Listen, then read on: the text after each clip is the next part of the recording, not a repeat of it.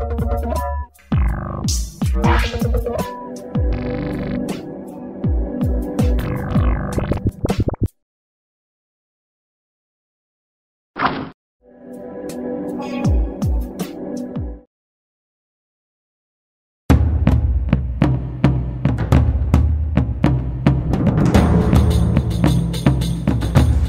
挖土机停在堆得跟小山一样的破碎砖头上，这栋被拆了超过一半的建筑物，是日治时期保留至今的彰化农业仓库，已经有九十一年的历史。但十七日遭彰化市农会拆除，彰化县文化局立即要求停工，并在二十日决议列为暂定古迹。现在已经拆下来这些像砖瓦哈，还有日治时期的这些钢筋哈，就是现场的这些呃材料哈，我们都会再做一次清理。那呃有必要保存的部分必须保存，因为它可能在后续我们如果说后续认定它是古迹或历史建筑，在呃修复的时候，它可以用到，或者说后续展示都可以用。彰化农业仓库在西元一九二五年落成启用，整体建筑是阶梯式层叠构造，加上有拱门式的回廊，在当时被称为太子楼。此类型农业仓库是目前国内仅存，但一直以来都未受重视。历经两次审议，都未被列为历史建筑或是限定古迹。彰化市农会解释，会进行拆除，完全是因为员工的安全考量。点了天花板两无来我是摔来，啊一片话，阮有那是底下真惊吓吼。啊文化大家拢会当真乐意甲保存，但是如果有公安的问题。徛伫管理者反是首先一定爱甲即个公安啊甲甲消除吼，互大家生活伫即个安全之中。彰化县文化局表示，彰化农业仓库在今年文资审议后，确实仅列为观察名单，农会拆除的行为并未违法，但现在列为暂定古迹，六个月的期限内视同古迹，若持续破坏将会有刑责。未来若文资审议通过，将朝现状保存或盖回原貌来进行可行性评估。记者邱子培、彭安群账号报道。您现在收听、收看的是《灿烂时光会客室》，我是节目主持人管中祥。《灿烂时光会客室》呢是由公视新闻议题中心 PNN 公民行动影音记录资料库联合制播的视讯跟音讯的节目哦。我们在每个礼拜天晚上在公视新闻 PNN 的网站会有直播，之后呢会有公库的网会在公库的网站上面会有完整的节目播出。我们今天很特别，我们到了这个地方，其实我们可以看到后面哦是这个彰化农会哦，这个彰化农会的一个彰化的大的粮仓，彰化的米仓。这个米仓其实是在一九九二五年就已经新建了，不过呃，在近百年的历史当中，其实有很段很长的一段时间，它其实按照农会的说法，其实并没有特别的去使用它。那在呃今年四月一号的时候呢，彰化的文文资单位呢，已经把它列为所谓的列册追踪。那接下来可能会进行所谓的古迹的审相关的审议。不过在四月十七号的时候，呃，很多关心这个彰化文资发展的民众，突然发现，哎，这个。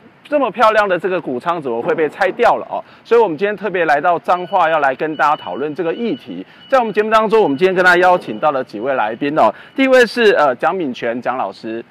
蒋老师是一个长期关心彰化的文史工作者哦，他其实也参与了非常多有关于彰化文化的一些抢救的这些行动。再来就是我们的邱明宪邱老师，也是一位文史工作者哦，他其实呃在早期是在啊在旅居在其他地方，但是回到彰化之后呢，开始重新再认识彰化，也参与了一些彰化的文资保存的活动。那我们在节目当中也访问了呃我们的农会的总干事林玉元林总干事哦。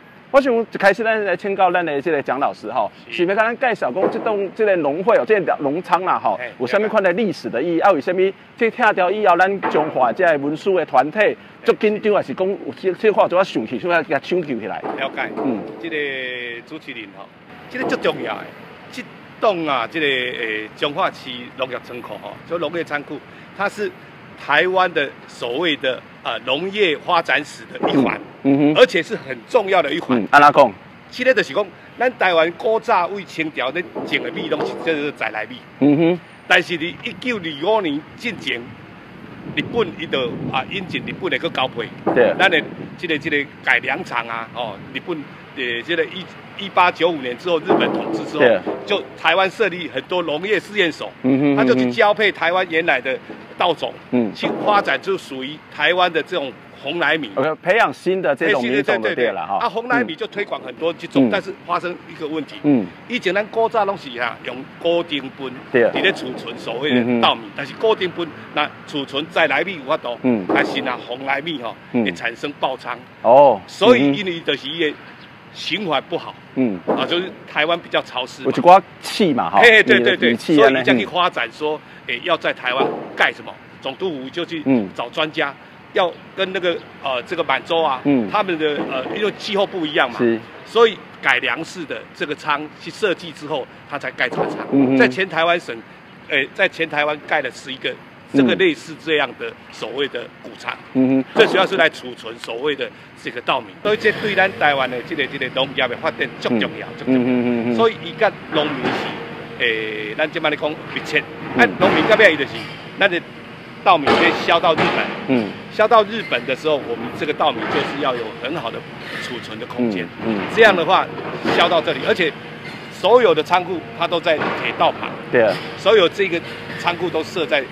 当时台中州呢就有嗯。三个仓库，哦。一个是台中的农业仓库、彰化的农业仓库，还有嗯。盐岭的农业仓库。那我们这里的储存的这个稻米的量呢？嗯。当时一九二二五年，呃，这个呃开始，呃，这个完工之后开始可以架撑嘛。嗯会当架撑的时候，一年差不多顶多两万几地啦，嗯嗯嗯，两万几地嗯，啊比大中州搁较济。嗯嗯嗯，啊，当然原林那边搁较济啦。嗯，所以甲兼顾咱台湾的这个不只是这个稻米农业的发展形势，是甲咱我们整个江南平原的发展，啊，佮有甲台湾甲日本的关系，其实都有足重要这哦，历史的足重要，足密切的。嗯哼这个吼，咱即马过去讲，农民伊种遮侪地话，你改良了，伊的生产量济啊，那有可能佫拢用固定分嗯，无可能嗯。所以固定分是可能咱家己买伊会使嗯，但是嗯伊人架撑一家的时候，储存量才会大。嗯嗯嘿嗯嗯。啊，咱这个建筑的形式嘛，足特别啦。咱看这一个一个拱形、一个椭圆形的是是是这个房舍的这个建筑，这是迄个时阵有相关的特色吗？哦，伊即个即个吼，伊是融合吼，嗯毋是像过去咱伫咧讲的所谓的即个昭和式的，是毋是，嗯。伊即个吼融合呃西方的对、欧洲的、欧洲的他们，因欧洲嘛有在储存所谓的稻谷嘛，嗯。所以伊融合他们的设计方式是嗯。融合所谓的咱即摆咧讲呃后。就是呃比较所谓的大正时期的大正时期的大正时期的那种建筑的模型，嗯但是跟它的民宅不一样，嗯。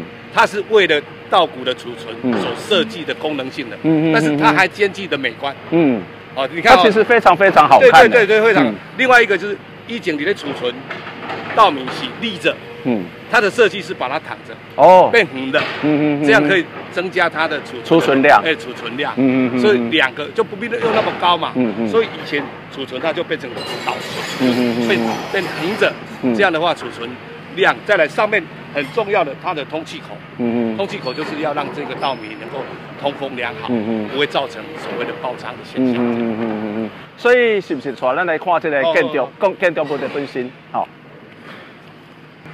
所以家吼，嘿，过去自一九二五年的时候，台中州这个呃农会，就是咱这摆咧讲，呃总督府伊无，伊甲你补助，才补助头那一成尔，对，无甲一成，嗯。连一成都无。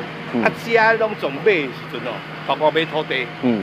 包括起差不多呃起这个主要的建筑啦哈，嗯。啊甲伊的机海安尼吼，起的建筑才五万五万多的日元而已。啊嗯嗯啊，，最重要是土地，土地，这个土地买这个土地买了十几万，嗯嗯嗯，就代表当时买这一块八分多地啊，嗯。花了很多钱。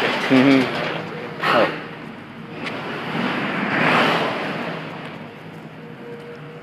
啊，伊主要吼起这个、这个、这个农业仓库这个范围啊，嗯。包括这，诶、咱即摆咧讲讲，伊这个储存、外储存、办公室，甲这个所谓的迄个加密的这无无无包括内底，这就两百六十七平。嗯。啊，这这个办公室甲这加密这个五十几平，嗯嗯嗯，所以伊这样的加起来就少是分偌地啦，嗯嗯。就是呃分偌地。它土地的面积哎，很大，对，所以它其实是很值得去去让未来的啊、这个民众感受当时那种所谓的农民嗯。跟农会它的嗯。彼此之间很密切的关系。嗯嗯嗯嗯。啊，所以我一直在讲，这一栋是有温度的，对，就是有历史温度的建筑。嗯。那也可以融合什么？稻米放在这里，嗯。你可以看到农农民血汗嗯。耕种的温度，嗯，所以这个不是是冰所谓的冰凉的一个嗯。硬体建筑。就，它不是一个单纯的建筑物嘛，对对，对，它含着、呃一段台湾所谓的农业史，嗯。很重要很长。嗯。啊，就是从一九1925大正时期，年嗯大正这个大概一九哈，我们现在讲说一九二三年左右，嗯啊一九二呃一九二一二二年左右就开始了嘛，嗯。那这个是跟我们台湾的稻米的整个发展，嗯包括稻米的改良，嗯嗯啊，因为这样的改良之后，我们的以前呃宅来米对生产的面积嗯。可能无遮济，嗯。但是为啊改良了生产的面积的单位，嗯。它的产量又增加了。所以较输的会让完全保留起来，咱的囡仔会让来遮佚佗是，爱当来参观，爱当了解这个历史，啊，给当来遮写生。是，所以变做一个真好一个文化教育的所在。是啊，嗯咱拢咧教囡仔讲啊，以前过去农业有没有？诶，农民种米叫你爱珍惜。嗯，但是咱即摆咧讲诶，即个就是爱更加爱珍惜咱这个对。硬体建筑，啊，嗯哼。因为伊硬体甲软体，软体是较重要，嗯。过来足重要，就是大正七年的时阵，中华本来之前有信两个迄个信用组合，嗯。但是即个叫做中华啊彰化正业信用组合，是，这个这个中化市农会的前身。嗯。啊，也还未起即栋，即栋起的是台中州农会起的，嗯。但是进前大正七年的时阵，就已经成立彰化正业信用组合。嗯嗯嗯啊，嗯最重要，什么叫做正业？嗯正业就是振兴中华的农业。嗯嗯嗯，振兴农业嘿正业，啊，最重要，当初嗯初初设这个啊，这个正业信用组合，伊的目标是要创啥？嗯要有别于中华的日本人设的中华信用组合，嗯哼甲嗯中华城好野人。嗯这个事先设的叫做中华当地信用组合嗯有别。嗯啊，这个人是要做啥？正业组合上初初，因这个人拢是什么？所谓的人道主义者。嗯哼伊做这个目标就是要为农民服务，嗯嗯叫做一个兼啥？嗯兼的功能叫做社会呃事业部。嗯哼嗯诶哼，，现现在这边讲的社会企业哎，概概就是社会企业概，念概念概念赶快嗯嗯嗯，伊想伊要做的是要救济平民，嗯救济这个弱势团体。嗯，所以其实他伊毋是干那纯粹的即个农民，也是讲地主啊，去即个即个粮仓啊，包括内底即个组合内底，包括知识分子，包括当地士绅，那就我跟你讲嗯哼，这虽然有地主，但是嗯足侪人是啥？足侪人是因为日本来统治了伊得的土地，是，嗯哼得的土地了，才是以前是佃农，所以因组成的时候一部分是电农组成的嗯。组合，嗯。甲这个中华当地信用组合，因拢是地主，嗯。伊这组合的无同款啊。无共款，无嗯共款所以伊才会设一个叫做社会事业部。那咱即摆咧讲的，到尾啊交合吼，咱即摆讲啊，即、个高年交合高年的时阵，因所谓的这个理干事会会改选嘛，是。改选啥物人入去？罗河，偌好，嗯哼，哦，罗河就做理事啊。啊，罗河伊遮个好朋友，嗯。像讲因啊，以前罗河的同学，迄个詹本、嗯。詹竹洲，因这个拢入去即内底做理干事，佮嗯伊个医生的朋友嗯，医生的朋友杨老基。嗯。甲迄个咱即摆咧讲讲，即个李中庆，嗯。这医师拢入来。嗯，所以带有所谓的社会人道救助的迄个，是，诶，迄个、迄个、迄个、迄个角色。所以甲啥？甲即个呃，即个咱即摆咧讲呃战争的时阵，嗯。啊，战争的时阵是应该是一九四三年左右。嗯哼，四三年的时阵，即个日本为着即个战争的关系，嗯。战争的关系要统合。嗯。统合这个农业，就甲统合，嗯。要统合所有各街庄私人的信用组合，嗯。甲过去所有各街庄成立的农业会，嗯。各街庄的畜产组合、兴农创合会，拢甲组成合起来，嗯。合起来了，咱成立一个彰化市农业会。嗯嗯啊，迄时阵啥物人咧管理嗯？中华市长咧管理。嗯嗯嗯嗯，啊，所以干好了才会变做敬业组合嗯。去得到这块财产。嗯，这真趣味吼，咱咱看了这这间这个这个农场吼，这个粮仓其实不只是农业的记录，不只是咱台湾跟日本这种所谓国际的关系，啊，还有包括这个殖民的关系哈，还有对抗殖民的关系，啊，还有咱看到咱的文化、咱的历史的规个发展，甚至咱看到做些呃人道主义者、真济这个文学家拢伫这个组合内底，所以其实我感觉这是一个足重要的。这个、这个、这个、这个粮仓哦，啊，以及非常重要的一个标记。对对对啊，咱对对。咱继续是来看画后边哈。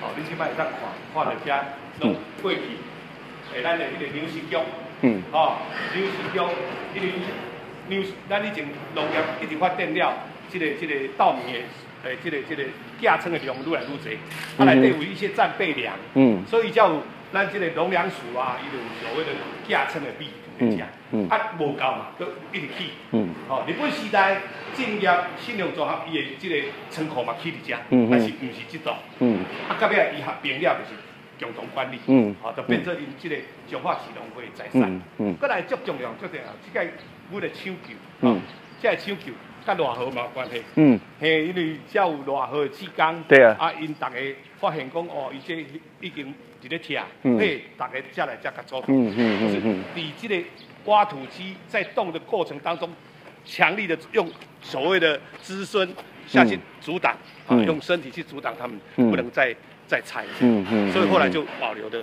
虽然是拆了一半，但是这个未来要修复是绝对没有问题的。嗯嗯嗯嗯。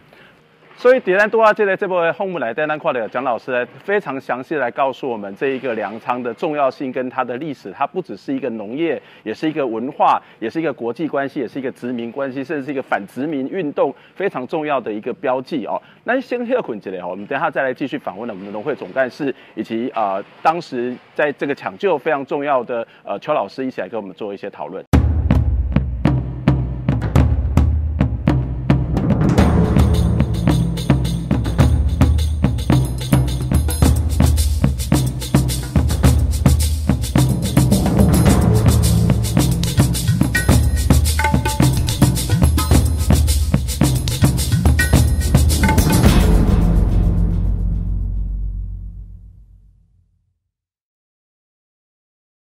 好，欢迎回到《灿烂时光会客室》节目的现场，我是节目主持人管中晓。我们今天来到彰化非常重要的一个农业的粮仓哦，这个非常重要的一个农业仓库。很可惜，在前几天它已经被拆掉了，所以我们接下来就要访问我们的农会总干事哦，来问问看他说，哎，为什么当时要来拆掉这一段这一栋非常重要的一个建筑物？总干事，先来敲门敲门一下好，就讲。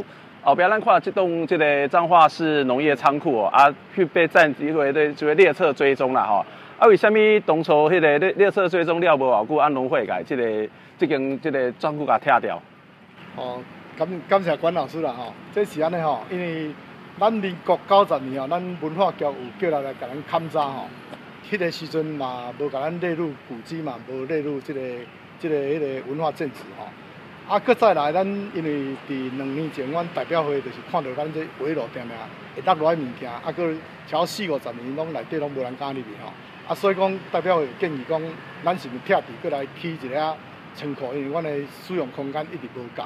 啊，所以当时是伫伫迄个旧年就来代表会通过要来起仓库，但是咱即个是工业用地，啊尾啊甲县府建设课建咱建设水平研究结果是讲，啊应该加两个工程啦吼。啊，所以尾啊，咱今年代表会二月二月底，咱过来通过要来起即、个啊观光公迄、个文化，咱的教育中心甲即个推广中心、教育中心甲即个观光工厂。啊，所以讲，就预定伫咱二月遐，就差不多要来拆，所以三月初五、三月初八就发包出去啊。啊，伫咱即个拄好要来动工二月开始咧迄个时阵，咱拄好有接到咱啊县府即个文化局啊，敲来甲咱讲，啊有人来举报吼，啊所以是毋停的。阮嘛非常用心哦，阮嘛对文化即块阮嘛真重视，所以阮一直等，怎啊怎啊无去拆除，啊嘛怎啊伫遐伫咧吼。啊，拄好四月初嘛是无敢列入即个文化建筑，啊是古迹，敢若列册追踪。那么真拄好吼，啊，伊嘛来甲阮协调讲，迄个礼拜会来甲阮研究讲要咱下一步要咱行。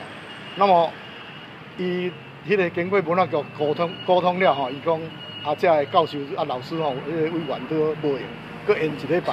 那么真拄好，嘛是咱拄做钻勘、探勘吼，土厝钻勘了吼，搁即个、即个、即个去顶人路，伊个本来就毁路啊，啊，所以落来讲着阮的提起有，啊，所以我迄阵的紧急处理，伫拜六透早的紧急处理，因为咱原底就发包，我是讲，啊，既然是毁路，啊，搁即个公安发生了问题，啊，所以咱就紧急请因讲进驻来拆，啊，所以拆了第一工是还好，第二天咱即个啊文化工作者知影了吼。啊，来动，咱就已经动了。啊，那么动起来了，啊，佫经过一个开会，二十开会了，伊即马甲咱暂定即个、即个、即个暂定古迹吼，啊，就即马嘛，当然是以市容会来讲，实际上是一个受害者，因为阮签注所的已经开差不多三百万去啊。我即马就烦恼讲即个物件。实在对阮来讲非常的损伤非常大，所以对你来讲，这个工程本地就发包出去嘛。哎，早就发包，啊，啊，拄啊，拄着讲即个拄啊物件落来，啊，你若讲落来是是毋是该个修理一下就好，啊哈，佮规栋爱拆掉。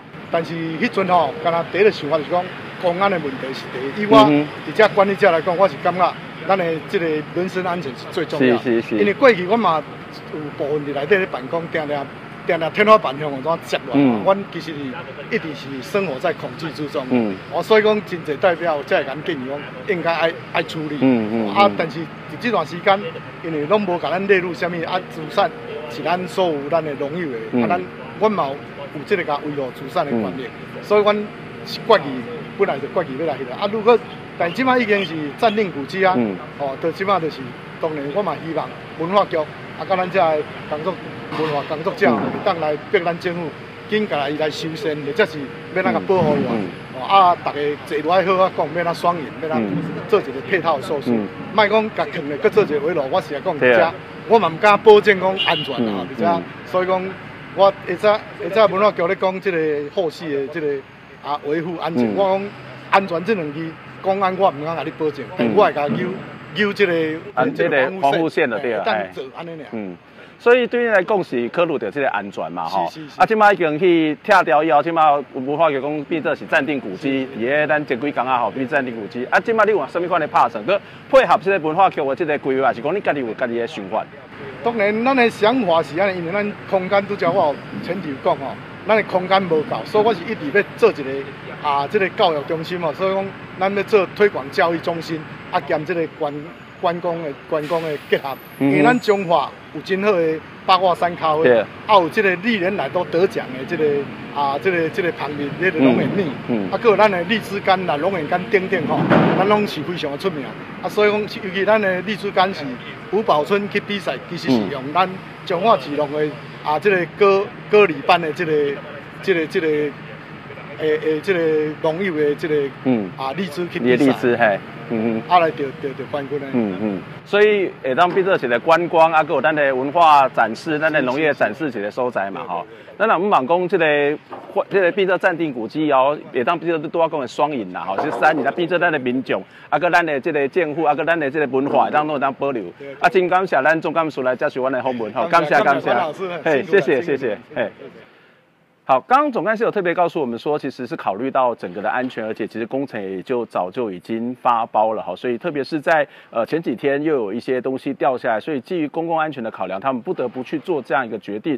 那呃，我想我们必须要回到一个在当天四月十七号的这个现场啊，当时我们看到被拆除，事实上在我旁边的这个邱老师其实也是当天特别赶过来抢救这个所谓的建筑。如果你们没有赶过来，是不是连后面这一块也都会不见的？当然，这是一定的。嗯哼。那为什么这个明明当时都已经变成是一种所谓的呃列车追踪，就是我们在所谓的文字审议的程序当中，可能是这个最基础、最前面的。那被列车追踪，为什么还会被拆掉呢？嗯，基本上我觉得在列车之中这件事情上面的认知，其实就有一些落差。嗯，像农会他们就觉得说列车之中就是没有没有什么行者、没有法则、没有。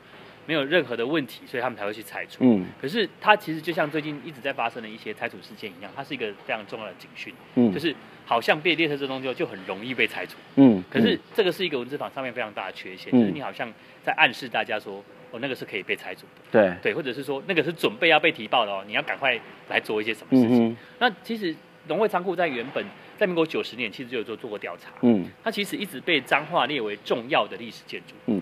那重要历史建筑为什么隔了这么久都还没有变成进入到古迹的审议程序？我觉得这个东西就是，呃，在我们的观察就是说，其实，在彰化的文化资产的发展当中，其实文化局一直扮演的是被动的角色，嗯，就是有提报再说，嗯，那但是他们其实还是会主动调查，可是主动调查完，他们不会主动去做提报，嗯哼。那当然还有另外一个层次的问题是说，呃，农农会到底是一个怎么样的单位？它是一个私人单位呢？还是一个公法人单位呢，还是公家单位？嗯，它其实有一些这个问题。对，所以在这个逻辑上面来讲，就是说，可能它被调查成为重要的历史建筑，可是它被认定成私人财产。嗯，所以呢，他们就没有主动去提报，就是不是由这里的人直接去提报。对。但是其实后来我们也去提报了，就是我们的伙伴他们也是赶快去做提报。嗯，所以你们是因为非所有权人这个角度去做提报嘛？没错没错。那当天您总会发现这个房子是被拆掉？呃，其实是我们的伙伴发现，就是说我们目前在台铁宿舍村那边有一群职工，他们其实每一周都会进行打扫跟整理的工作。嗯。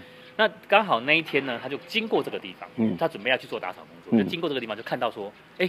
他被拆除了，嗯，然后紧急的告诉大家，嗯，然后这时候大家才赶快汇合过来，嗯，汇合过来这里之后，先跟他们沟通说，请他们停工，对，但他们不愿意接受，因为他们认定第一个这里没有没有建造，所以就不用拆造，嗯哼，所以应该拆除应该要拆除知道，他们认为没有建造，所以不用拆造，嗯哼，第二个是第二个，它并没有被列为古迹，它只有被列为就作为列车追踪，列车追踪对，嗯哼，所以但是。在我们的认知上不是这样子啊，就是说他其实他的文职身份未定嘛，但是只要被列车追踪，他其实应该就有文职身份。嗯嗯。所以呢，当时就我们就赶快想尽办法去跟他们就是讨论，结果后来真的是。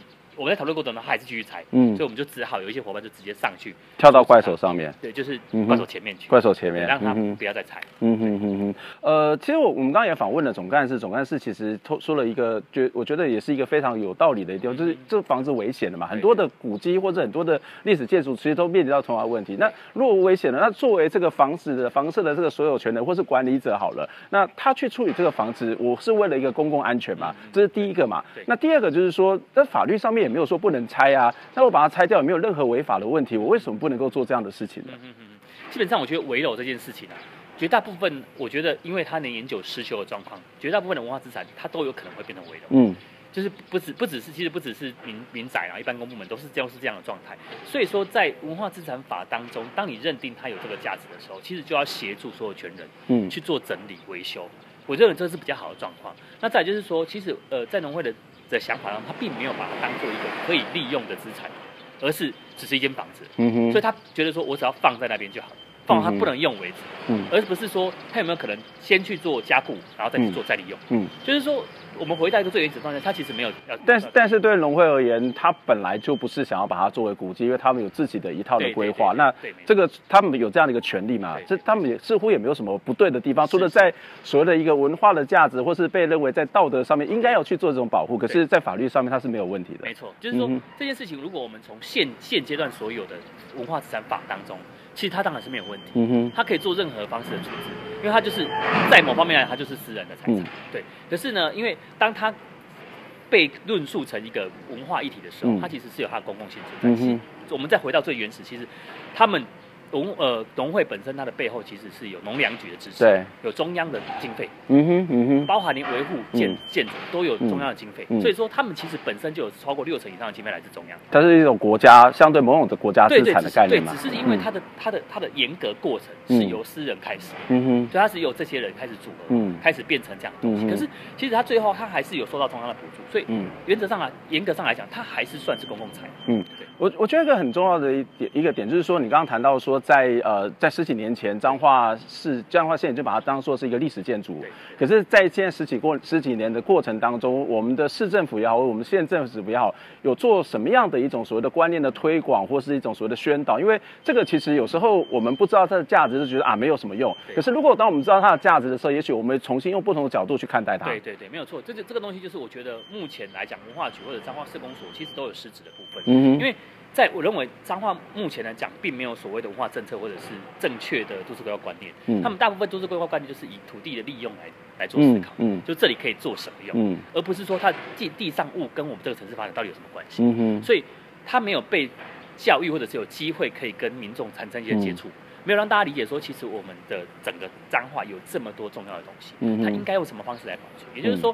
市农会、市公所，他可以很早期就跟市农会开始产生接触，对，它开始有机会去跟大家讨论这件事情，开始有机会去辅导他们把这件事情变成一个公共性更好的结果。也就是说，假设他原本他被闲置很久，假设他早一点开始有这个观念去思考的话，他早就已经不是现在这个样子，他早就已经可能变成给农农会带来很大帮助，因为农会最终他还是帮助农民嘛。对。那你闲置本来就没有帮助农民，这是很正常的事情。你怎么让让他利用到可以帮助农民，这才是正确的思考方式。所以说。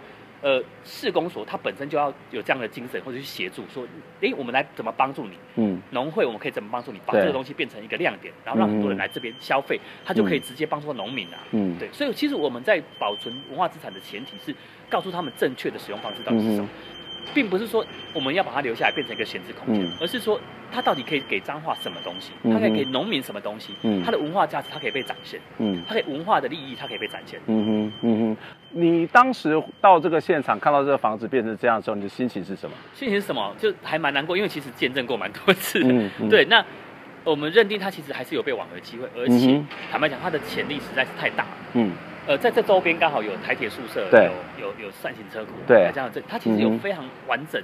我们上我们这次再举个例子，就是说彰化市公所，你要一直要找所谓的。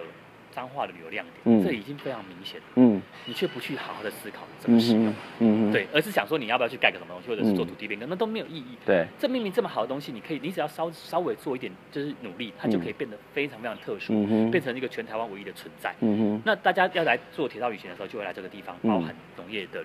历史都可以完整的去玩到，为什么不去往这个方向去思考？嗯，所以当下看到的时候真的非常难过。嗯，所以我们会尽力，当时的想法就是我们尽力尽一件力力一件的努力跟农会沟通，嗯，让他们理解说保存的意义是什么。嗯，不是为了让它变成围楼。对对，因为过去是这样的形态。嗯有没有可能让它往更好的方向去，让农会在市市中央彰化市的存在变得更有意义？嗯，现在已经被列为是暂定古迹。我们知道暂定古迹事实上也是有六个月的时间。这六个月的时间，如果没有一个更好的解决的方法，恐怕也可能是延长，或者是就就整个就拆掉，也没什么太大。对对对。就是会长最长会是到一年的时间嘛。那现在你们这些文史团体或是抢救联盟，现现在目前有什么样的一种计划跟打算？其实我们目前就是说，第一个部分，我们当然要去跟文化局做一些就是施压动作，就是说你们其实要更快一点，你们要更积极的处理这件事情。然后呢，另外一个部分就是说，我们协助农会去做资料整理。去把更完整的资料做出来，让大家知道说它它它背后到底有什么样的意义。再来第三个部分是行动部分，我们希望让更多的民众去了解这件事情，去透过这个农业产百年仓库去理解说彰化这些文化资产它存在意义到底是什么，它为什么应该被留下来？我们在做的事情是什么？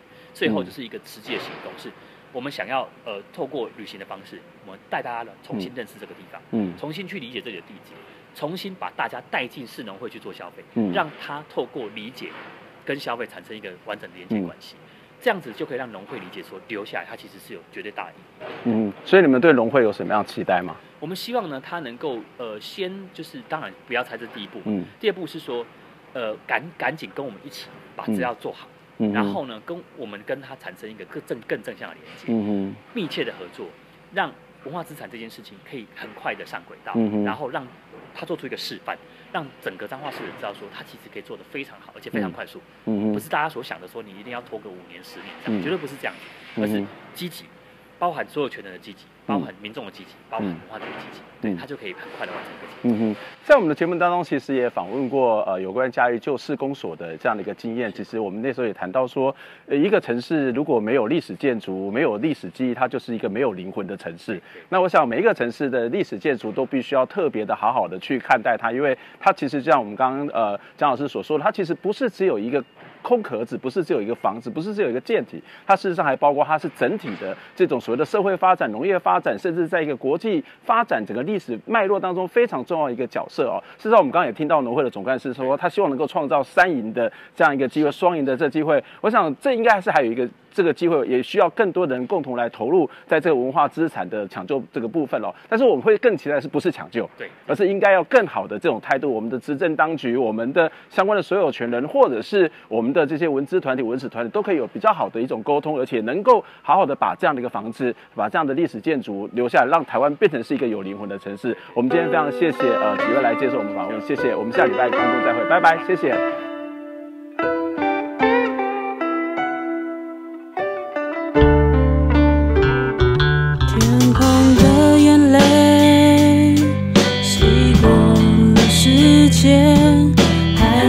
不知发现，攥在手中的幸福消失不见。